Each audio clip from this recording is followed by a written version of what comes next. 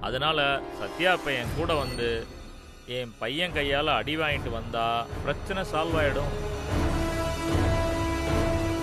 என்ன சொல்கிறீங்க ஐயோ என்ன பேசுகிறீங்க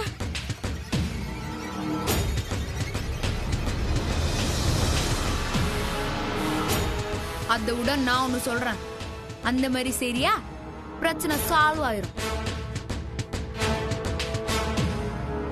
உன் பொறுக்கி பையனை விஷம் வச்சு கொண்டு சத்யா!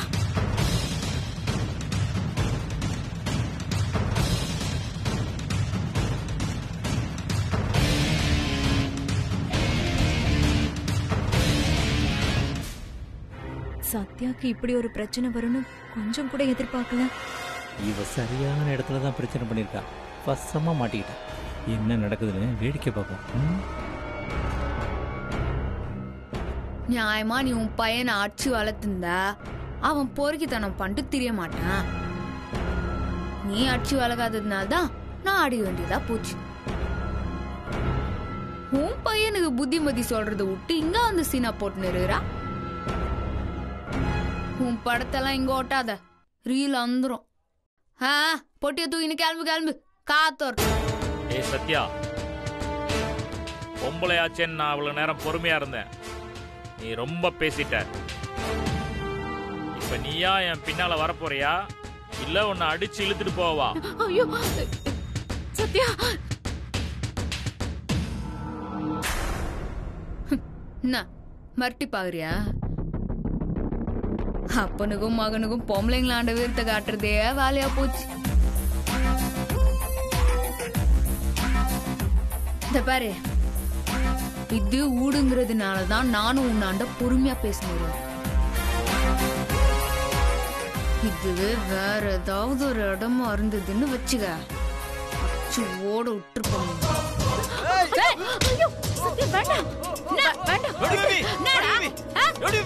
விடுங்க. என்னங்க நான் சொன்னா கேளுங்க. நீங்க வாங்க.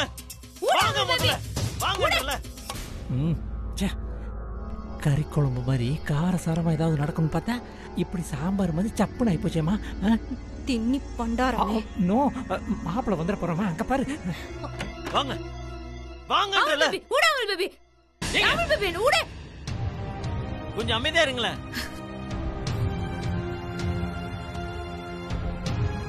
நீங்க வீட்டை விட்டு வெளில போனால தான் பிரச்சனை வீடு வரைக்கும் வந்திருக்கு. இதுக்காக தான் நான் அத்தனை வாட்டி சொன்னேன் பிரச்சனை வேணாம் வேணான்னு இப்ப பாத்தீங்களா என்னாச்சுன்னு? இப்போ வாச்சு நான் சொல்றது கொஞ்சமாச்சும் கேளுங்க. அதுக்காக வீட்டுக்கு வந்து பிரச்சனை பண்றவங்கள பார்த்து நான் சும்மா இருக்கணுமா? அத நான் பாத்துக்கிறேங்க ரோடி பேபி எனக்கு நீங்களும் உங்க வயித்துல விளையாடுற குழந்தையும் தான் முக்கியம். கொஞ்ச நேரம் உள்ளே இருங்க. போங்க.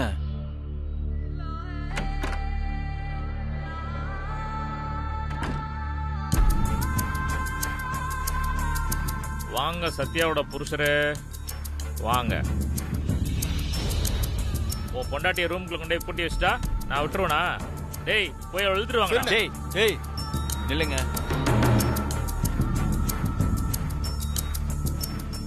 இதோ பாரு. உன் பையன் தப்பு பண்ணிருக்கான் அதுக்காக தான் ரவுடி பேபி அவனை போலீஸ்ல புடிச்சு கொடுத்துருக்காங்க. இப்படி கண்டபடி வீட்டுக்குள்ள வந்து தகராறு பண்றதெல்லாம் ரொம்ப தப்பு. முதல்ல வெளில போங்க.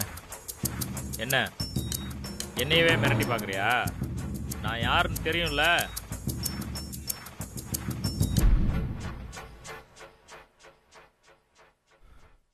இப்ப நீங்க எல்லாரும் வெளியில போகல? அப்ப நான் பிரஸ் போலீஸ் மீடியாவெல்லாம் இங்க கூப்பிட வேண்டியது இருக்கும். அப்புறம் அரசியல் வாழ்க்கை ஒரு கேள்விக்குறியாடும்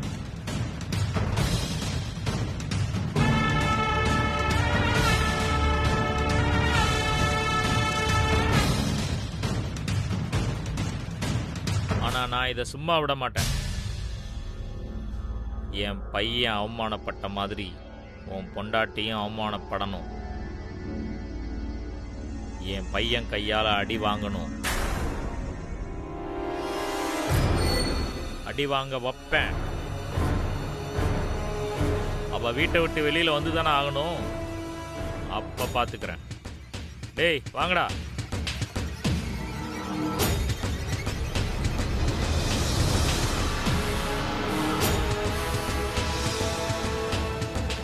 ஏய் பிரபு என்னடா அதெல்லாம்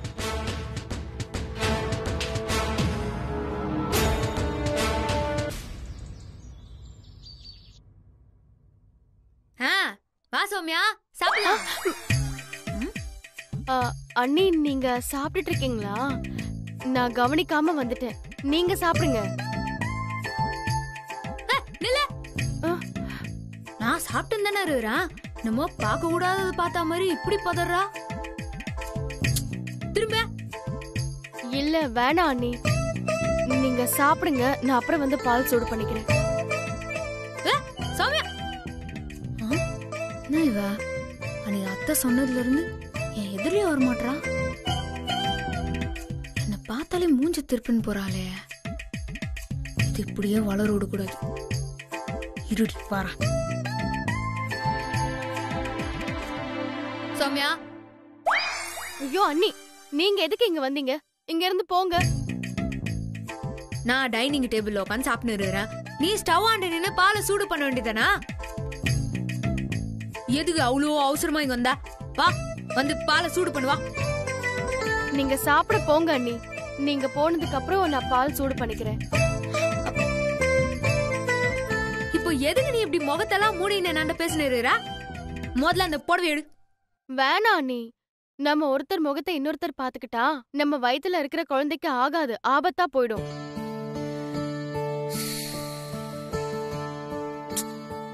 ஏன் சௌமியா நீ பச்சை பொண்ணு தானே? இந்த மூட நம்பிக்கையெல்லாம் நம்பின்னு இருக்கிறா நீ முதல்ல அந்த புடவை எடுத்து என்ன நேரா பாரு. யாரு குழந்தைக்கும் எதுவும் ஆகாது உங்களுக்கு வேணா இதுல எல்லாம் நம்பிக்கை இல்லாம இருக்கலாம் ஆனா எனக்கு இதுல நம்பிக்கை இருக்கு அண்ணி? என்னால உங்க குழந்தைக்கு எதுவும் ஆயிடக்கூடாது அண்ணி. முதல்ல நீங்க இங்க இருந்து போங்க. என்ன காலத்துல சௌமியா நீ இருக்கிற யாரோ என்னமோ சொல்றாங்கன்னு சொல்லி அத்தை பயப்படுறாங்க. அத்தையோட நீ ரொம்ப பயப்படுற? நீ முதல்ல அந்த புடவைய எடு. ஐயோ வேண்டாம் அண்ணி. நீங்க இப்படி எல்லாம் பண்ணீங்கன்னா அப்புறம் நான் இங்க இருக்க மாட்டேன். கதிர் வீட்டுக்கு கிளம்பி போயிடுவேன். அட! முதல்ல நீங்க இங்க இருந்து போங்க சரி சரி டென்ஷன் ஆகாத. நான் இனிமே உன்னை தொந்தரவு பண்ண மாட்டேன். நான் சாப்பிட்டு முடிச்சிட்டேன் நீ போய் பாலை சூடு பண்ணிக்கோ நான் என் ரூமுக்கு போறேன். நான் என் ரூமுக்கு போறேன்.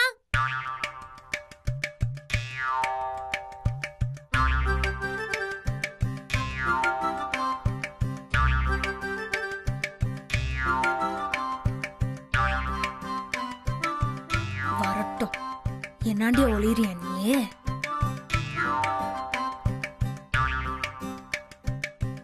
அண்ணி ரூமுக்கு போயிட்டாங்க போல இருக்கு.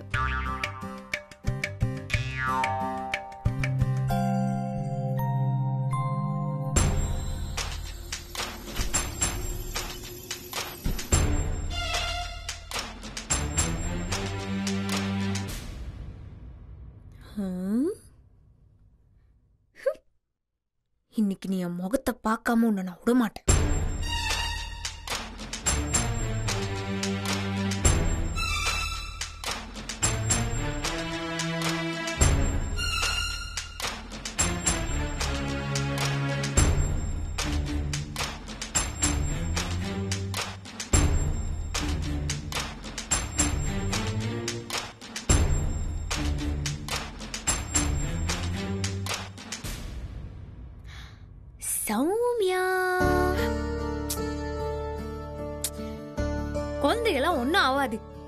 பார் சௌமியா. வேணாம் அண்ணி. குழந்தைங்க விஷயத்துல விளையாட்டு வேணாம் நீங்க குழந்தைய நல்லபடியா பெத்தெடுக்கணும். அதனாலதான் சொல்றேன். மூட நம்பிக்கைய இப்படி வளர்க்காத சௌமியா. படிக்காத எனக்கு கூட தெரியுது உனக்கு தெரியல பாரு. நேருக்கு நேரா என்னதான் பாரு சௌமியா. வேண்டாம் நீ கட்டாயப்படுத்தாதீங்க. ஆடா என் பேச்சு நீ கேப்பியா கேட்க மாட்டியா? இந்த ஒரு விஷயத்துல மட்டும் நான் கேட்க மாட்டேன் ம்? சரி ஸ்டவ்வை நீங்க ஆஃப் பண்ணிடுங்க. நான் அப்புறமா வந்து பால் எடுத்துக்கிறேன். ஏ, சௌமியா நில்லு. சௌமியா.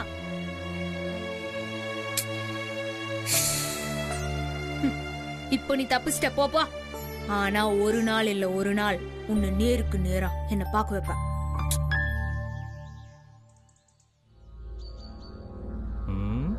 அனிமா எக்ஸ்எம்எல்ஏ எதுக்குமா இங்கே வெயிட் பண்ண சொன்னாரு? நாம வீட்டுக்கோ கட்சி ஆபீஸ்க்கோ போனா யாராவது நம்மள பார்த்து பிரபு கிட்ட தகவல் சொல்லிட்டா நமக்கு பிரச்சனை ஆயிடும்ல? அதனால நான் தான் இப்படி தனியா வந்து மீட் பண்ணிக்கலாம்னு சொல்லி அவர்கிட்ட கேட்டேன். இதெல்லாம் உன் ஏற்பாடு தான் நானிமா என்கிட்ட சொல்லவே இல்லை. நீ மட்டும் அரசியலுக்கு வந்தா பெரிய ஆளாயிருவோமா? மாப்பிள ம்? பச்சையா தெரியுது. அவ்வளவு பச்சையாவா தெரியுது? யோ வாய மூடிட்டு இரு.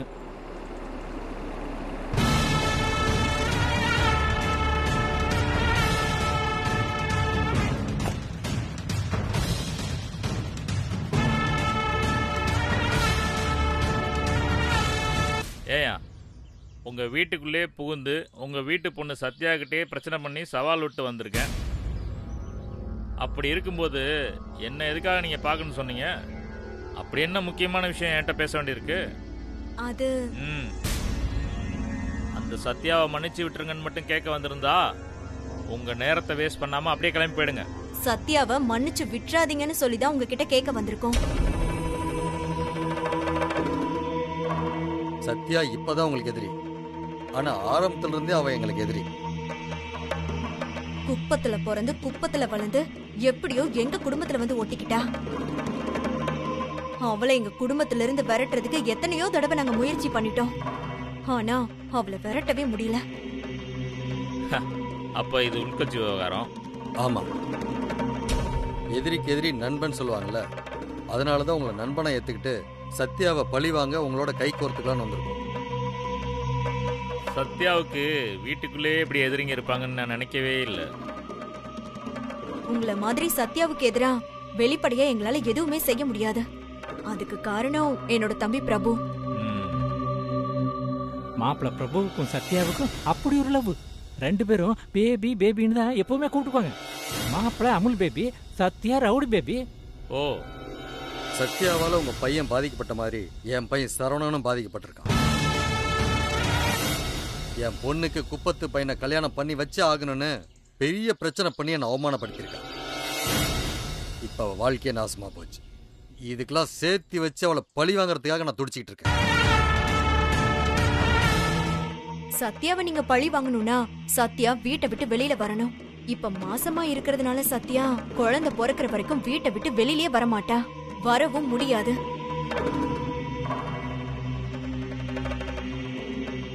சீதைக்கு லட்சுமணன் கோடு போட்ட மாதிரி மாப்பிள்ள பிரபு சத்யாவுக்கு வீட்டு வாசல்ல ஒரு கோடு போட்டிருக்கான். கோடா? அது எதுக்கு? மாசமா இருக்கிற சத்யாவோட கர்ப்பப்பை ரொம்ப வீக்கா இருக்கிறதுனால அவளை ரொம்ப கேர் எடுத்துக்க சொல்லி டாக்டர் சொல்லிருக்காங்க சத்யா உங்கள மாதிரி நிறைய பேர்கிட்ட பகையை வளர்த்து வச்சிருக்கா. அதனால அவ வீட்டை விட்டு வெளியில போனா அவளுக்கும் அவ வயித்துல வளர்ற குழந்தைக்கும் ஆபத்துன்னு சொல்லி என் தம்பி வாசல்ல கோடு போட்டு கோட்டை தாண்டி போக கூடாதுன்னு சொல்லி அவன் மேல சத்தியம் வாங்கியிருக்கான். மாப்பிள்ள பிரபு மேல இருக்கிற லவ்ல சத்யாவும் சத்தியத்தை மீற மாட்டான். சத்யாவை எப்படியாவது கோட்டை விட்டு வெளியில வர வச்சா அதனால அவளுக்கும் என் தம்பிக்கும் பிரச்சனை வரும். அத பெருசாக்கி அவங்கள நாங்க பிரிச்சிருவோம். நீங்களும் சத்யாவை பழி வாங்கிக்கலாம். அதுக்காக தான் நாங்க இப்போ உதவி கேட்டு வந்திருக்கோம். சரி நான் என்ன பண்ணோம் பிரபு போட்ட கோட்டை தாண்டி சத்யாவை வீட்டை விட்டு வெளியில வர வைக்கணும். அதுக்கு ஒரு வழி இருக்கு. என்ன வழி? சத்யாவோட மெக்கானிக் செட்ல வேலை பார்த்த பையன் மாக்கா சத்யா தாலி எடுத்து கொடுத்தாதான் கல்யாணம் பண்ணுவேன்னு அடம் புடிச்சு கோவில்ல ஏற்பாடு பண்ணியிருந்த கல்யாணத்துக்கு சத்யா வரலன்னு சொல்லி வீட்டுக்கே தேடி வந்து அவ கையால தாலி எடுத்து கொடுத்து கல்யாணம் பண்ணிருக்கான் அந்த மாக்கானோட புது பொண்டாட்டிய நீங்க கடத்தி வச்சு சத்யாவை வர சொன்னா அந்த பொண்ணை காப்பாத்த சத்யா கண்டிப்பா கோட்டை தாண்டி வீட்டை விட்டு வெளியில வந்துருவா. வெளியே வந்த சத்யாவை நீங்க பழி வாங்குங்க. சத்தியத்தை மீறி கோட்டை தாண்டி வந்துட்டான்னு சத்யாம் பிரபு நாங்க பிரிச்சு வச்சோம் டூ இன் ஒன். என்ன சொல்றீங்க?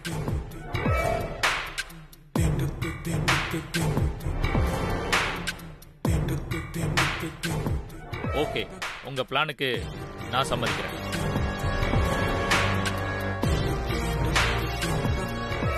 புது கல்யாண பொண்ண நாங்க தூக்குறோம். ஒரே கல்ல ரெண்டு மாங்கா. ஓகே அப்ப நான் கிளம்புறேன். வாங்க தலைவரே. என்ன அதுக்குள்ள போயிட்டாரு? மாமா இவரு பயங்கரமான ஆளா இருப்பாரு போல இருக்கு அப்புறம் அனிமா எனக்கு ஒரு சந்தேகம். என்ன? மாக்கா பொண்டாட்டிய தூக்குனா சத்யா கண்டிப்பா வெளியில வருவா ஓகே. ஆனா பிரபுவும் சத்யாவும் எப்படி பிரிவாங்க ஆ? சத்யாவை பழிவாங்க எக்ஸ்எம்எல்ஏ அவர் பையனை வச்சு சத்யாவை அடிப்பாரு. அப்போ அவ வயித்துல அடிபடாம இருக்குமா? பத்துல ஒரு அடி படத்தானமா செய்யும்.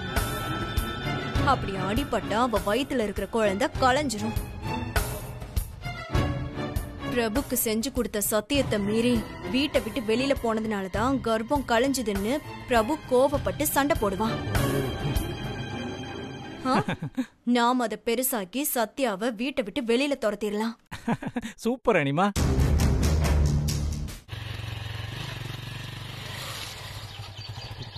இறங்கு. அம்மா. வா. அம்மா. ஆ வாங்க வாங்க. என்னடா இன்னும் வரலையே? போன் பண்ணி கூப்பிடலாம்னு நினைச்சிட்டு இருந்தேன். நல்ல வேளை நீங்களே வந்துட்டீங்க. வாங்க உட்காருங்க. உட்காருமா. நீங்க பேசிட்டு இருங்க வந்துடுறேன்.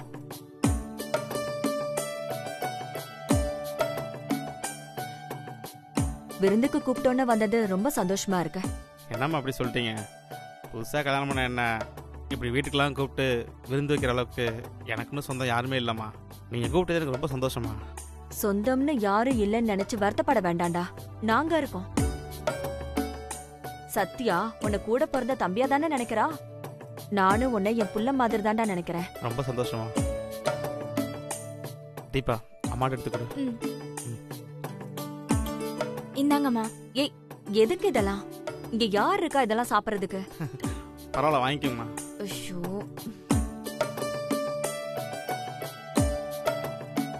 சரி ஒண்ணு பண்ணுங்க. நீங்க ரெண்டு பேரும் பழத்தை சாப்பிட்டு பேசிட்டு இருங்க. இப்பதான் மார்க்கெட் போயிட்டு காய்கறி எல்லாம் வாங்கிட்டு வந்தேன். நான் போய் சமையல் வேலையை பாக்குறேன் அம்மா ஒரு நிமிஷம். ஏங்க? நீங்க இந்த பழத்தை சாப்பிட்டுட்டு உட்காந்துருங்க. நான் அம்மாக்கு கூட போய் ஹெல்ப் பண்றேன். நல்லா இருக்கே. நீங்களே சமைச்சு சாப்பிடதான் நான் உங்களை வீட்டுக்கு விருந்து கூப்பிட்டேனா? அதெல்லாம் ஒண்ணு வேண்டாம். உங்க ரெண்டு பேருக்கும் ஏன் கையால சமைச்சு போடணும். அதுலதான் எனக்கு சந்தோஷம். நீங்க ரெண்டு பேரும் பழத்தை சாப்பிட்டு பேசிட்டு இருங்க. நான் இப்ப வந்துடுறேன். இரு. சரிம்மா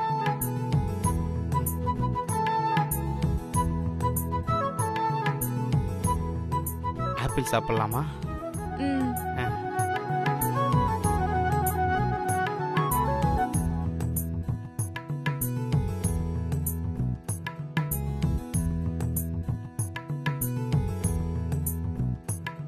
ஆ சமைக்க தண்ணி இல்ல. நான் போய் எடுத்துட்டு வந்துடுறேன். அம்மா நீங்க இருங்க.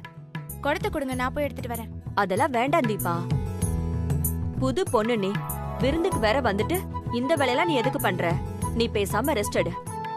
இப்பதானே சொன்னீங்க. என் வீட்டுக்காரு உங்களுக்கு புள்ள மாதிரின்னு அப்ப நீங்க யாரு? எனக்கு மாமியார். அப்ப இது என்னோட வீடு தானே? மருமகளை உட்கார வச்சுட்டு மாமியார் தண்ணி கூட எடுக்கலாமா? நானே போய் எடுத்துட்டு வரேன் நீங்க கொடுத்து கொடுங்க. ஏய்